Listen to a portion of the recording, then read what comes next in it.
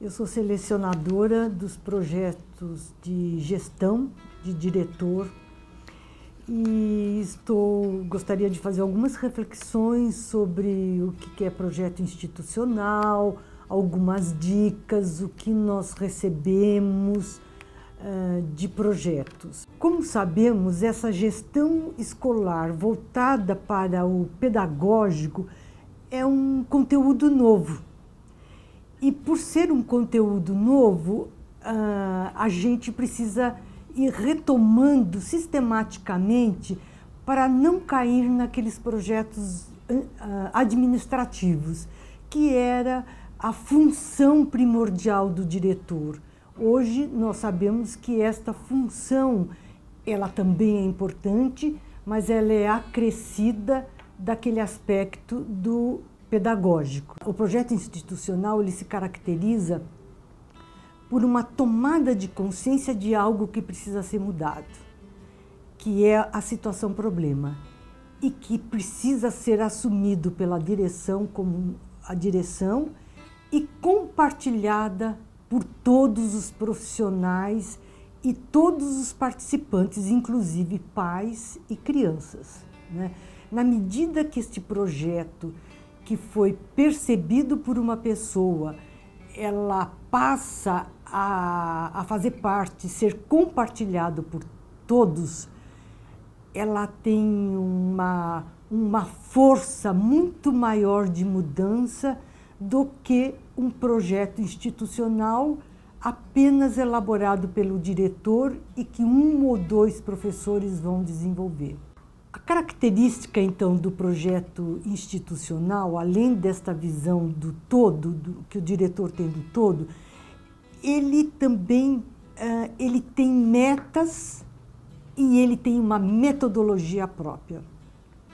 Como é que a gente percebe que ela tem metas? Porque a partir deste momento que eu convoco todos os meus companheiros de gestão, meus profissionais da escola, a participarem, inclusive os pais, eu possibilito que todos passem a olhar com mais critério, com mais cuidado para essa situação.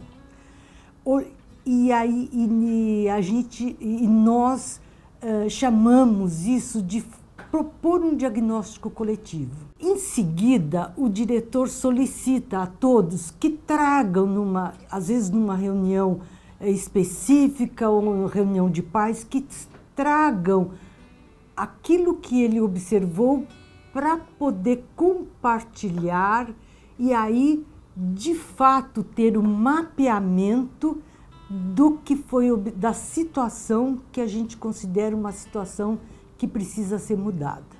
Né? Em seguida, o diretor geralmente ele, a partir desses dados, ele vai uh, priorizar quais as ações deverão ser. As primeiras ações a serem proposta no projeto, portanto, ele vai fazer um rol de, de situações que ele vai, ao longo de um tempo, que pode durar seis meses ou um ano, dependendo do tipo de projeto, que ele vai uh, colocando em ação, observando e modificando. O diretor ele é o responsável por todas as ações. Né? Ele não vai fazer todas as ações, ele vai delegar, mas ele vai coordenar todas as ações. E ele vai coordenar com, com o objetivo de observar se todas as ações estão perseguindo o mesmo foco, o, a, a, mesma meta, a mesma questão para alcançar a, as metas propostas. Assim, eu, a gente é, considera o projeto institucional algo que sustenta é, todo o trabalho da escola.